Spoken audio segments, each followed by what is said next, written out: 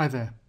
Now in this second part we're asked to find the distance AC given your answer in the form root A over B where A and B are integers for two marks.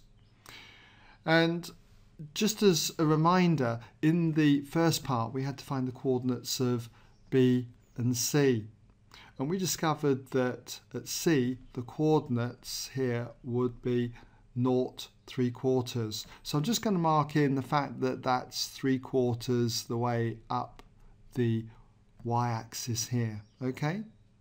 And I'll also mark in the point that at B, the x-coordinate here we found to be five quarters. So at B then we've got this point here at five quarters. So if you'd like to have a go at this, find distance AC, then I'll just give you a moment to pause the video. Okay, welcome back then if you had a go. So for this second part then, we've got to get the distance AC. And to do this, it's just simply the distance between two points, where essentially what we're doing is considering Pythagoras' theorem from this triangle in here. This would be the hypotenuse AC. So AC squared would equal this side squared plus this side squared. And we know the length of this side. It is basically one unit, okay? Distance from the y-axis to A, one unit. And as for the distance up here, that's going to be the difference between the y-coordinates, one here and the three quarters here. So that's going to be one quarter. We'll just put that up there as being one quarter. Okay? So when it comes to working out AC, AC will be the square root then of the sum of the squares of the other two sides. So that would be 1 squared plus 1 quarter all squared. And if we work this out, we're going to get 1 whole 1 here plus 1 16th, a total of 17 sixteenths, which we need to square root.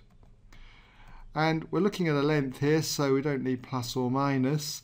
And this is the same as the square root of the top, which we can't really do, so we'll just leave that as root 17. But we can square root 16, which is 4. And we've got this in the form root of a over b where a and b are integers. a would be 17 and b would be the 4. Okay, well, moving on. In the next part, part 3, okay, what we've got to do is find the area of the shaded region for four marks. That's this region in here. So again, if you'd like to have a go at this, just give you a moment to pause the video.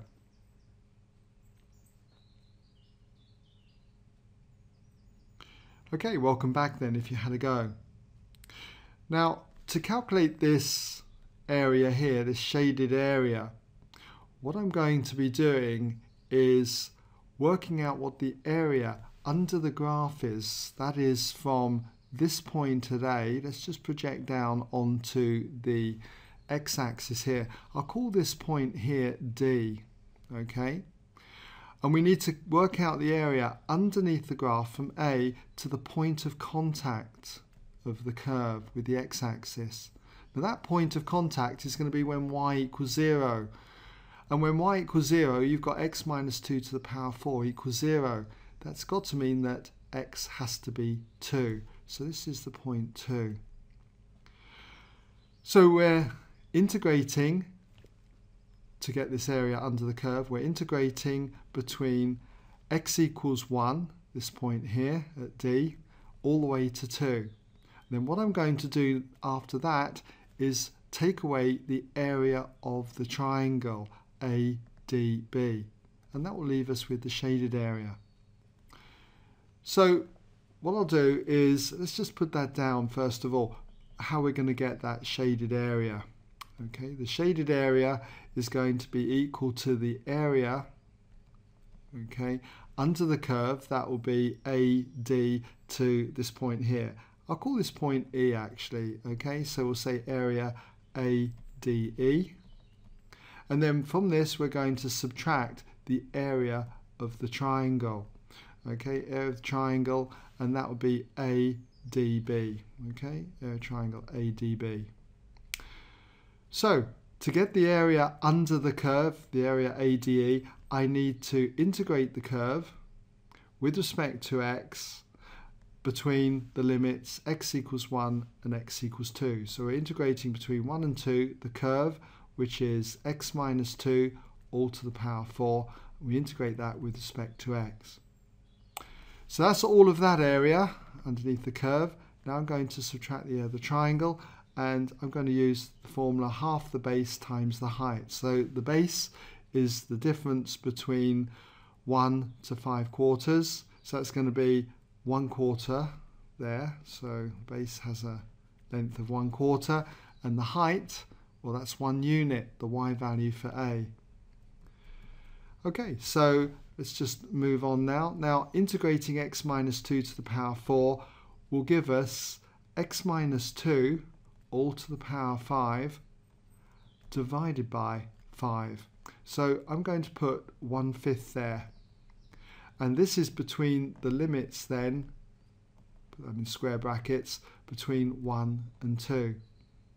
Working out the of the triangle, well that comes to minus 1 eighth. And so if we now substitute our limits into here, we're going to have 1 fifth multiplied by, and putting 2 through gives us 2 take away 2, which is 0. 0 to the power 5 is 0. And then from this, I would need to subtract what we get when we put 1 through. 1 minus 2 is minus 1. Minus 1 to the power 5 is minus 1. So you're ending up with minus minus 1 there. Okay? And then you've got your area of the triangle, minus 1 eighth on the end. So here you've got plus 1, 1 fifth times plus 1 is 1 fifth. 1 fifth minus 1 eighth, that comes to 3 fortieths. So the shaded area is 3 fortieths. I'm just going to write units squared. You don't have to, but I'm going to write that in just because I'm finding an area. Okay,